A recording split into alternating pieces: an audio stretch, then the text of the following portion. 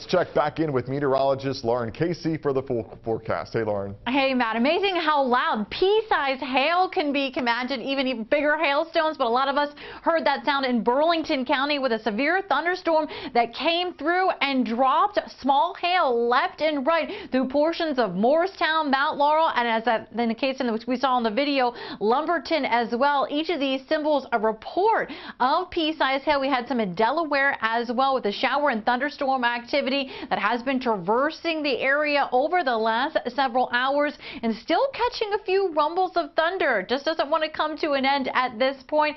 Seeing a little bit of a rumble popping up there as we look towards Camden County. Still some light rain coming down in Philadelphia. So we got wet roads, 95, 295, Schuylkill Expressway. Also a little thunderstorm just moving offshore in the Brigantine area. A little lightning strike recently and also some light rain returning now to portions of South Jersey and Salem and Cumberland counties and getting a live look at Center City, Philadelphia. Still a little bit of light rain being reported at the airport right now. Our temperature, what a drop over the last several hours. We had the afternoon in the 70s now down into the low 50s, about to fall off into the 40s, and we still have that breeze as well.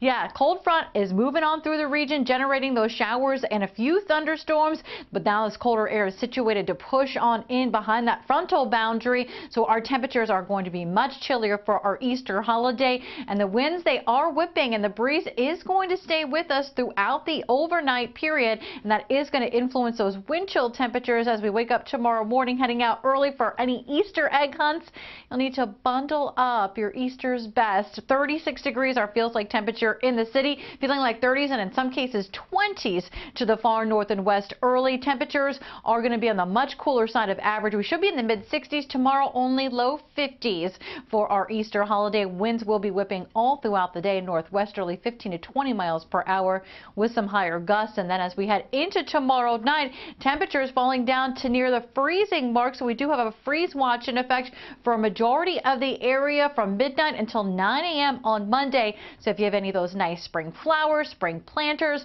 want to cover them on up or bring them indoors or they could be harmed by that cold air. As we look ahead towards late day on Monday after that cold start, we are going to see rain moving on in, overspreading the area, likely around commute time Monday evening, a soggy Monday night in store and a snowy night in portions of the Poconos where we could see a few inches of spring snowfall in the higher elevations as we head into late day Monday, Monday night, and early Tuesday morning. Otherwise windy into Tuesday, cool again, but temperatures do make a rebound with quieter and more pleasant conditions as we push towards the second half of next week. 68 and sunshine, not bad for next Friday, man. Yeah, looking forward to that, Lauren. Thank you.